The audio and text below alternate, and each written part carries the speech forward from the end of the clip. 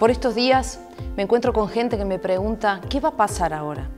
¿Qué va a pasar con Córdoba, con el país? Y los entiendo, porque hemos tenido experiencias difíciles con gobiernos nacionales. Pero un pasado de desencuentros no significa que no se pueda cambiar. Era un camino que José Manuel de la Sota ya había comenzado a recorrer, el de la reconciliación nacional, el de la tan necesaria reconstrucción del diálogo. No estamos condenados a nuestro pasado. Siempre hay un presente y un futuro por los cuales vale la pena luchar. Por eso quiero ser clara. Mi límite es el sufrimiento de la gente.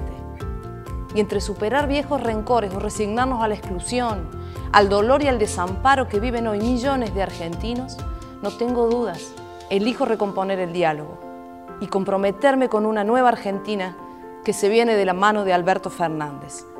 Una Argentina que finalmente nos incluya a todos.